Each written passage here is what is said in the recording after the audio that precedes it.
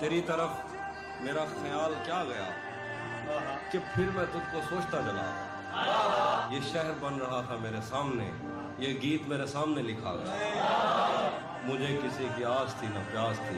ये फूल मुझको भूल कर दिया बिछड़ के सांस खींचना महाल था। मैं ज़िंदगी से हाथ खींचता